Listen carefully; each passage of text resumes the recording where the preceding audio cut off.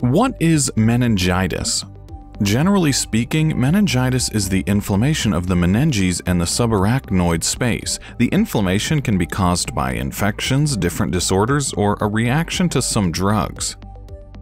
So what are the meninges? Well, the meninges are the three membranes named the dura mater, arachnoid, and the pia mater. These membranes enclose the brain and the spinal cord.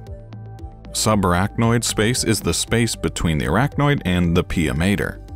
Meningitis can be classified according to the cause of the inflammation. There are five types of meningitis based on the source of the inflammation, namely bacterial meningitis, viral meningitis, fungal meningitis, parasitic meningitis, and a rarely found variety, non-infectious meningitis.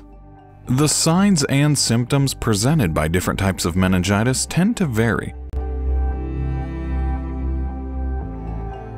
The variation is mostly in the severity of the disease. Except for infants, older people, and immunocompromised patients, all types of meningitis exhibit three common symptoms, which are a headache, fever, and neck rigidity. Patients may also appear lethargic. Neck rigidity is the resistance to neck flexion. The stiffness in the neck region caused by meningitis is differentiated from other diseases by the sign that only the flexion is affected in meningitis, whereas in other conditions that cause neck rigidity, mostly movement in all directions is hindered. Bacterial meningitis is the most common form of meningitis. Bacterial meningitis can be potentially life-threatening as it can cause complications such as brain damage, hearing loss, and ultimately death. Bacterial meningitis is infectious and can travel from one person to another person through sneezing and coughing or through saliva.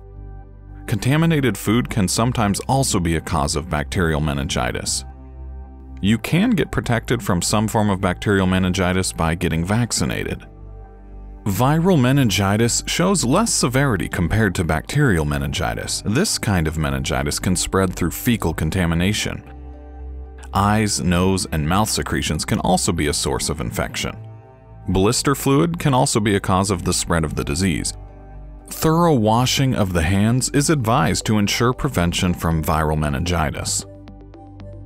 In parasitic meningitis, standard meningitis signs such as headache, fever, and stiff neck start to show 1 to 7 days after infection.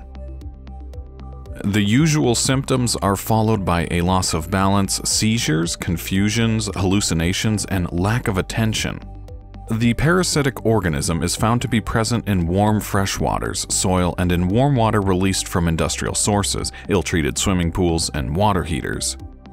Parasitic meningitis cannot be transferred from one person to another. Fungal meningitis happens rarely and is caused by a fungus entering the bloodstream. People with weak immune systems are more vulnerable to getting fungal meningitis. Inhaling fungal spores leading to their entrance into the bloodstream is the most common cause of fungal meningitis. Fungal meningitis also cannot be transmitted from one person to another.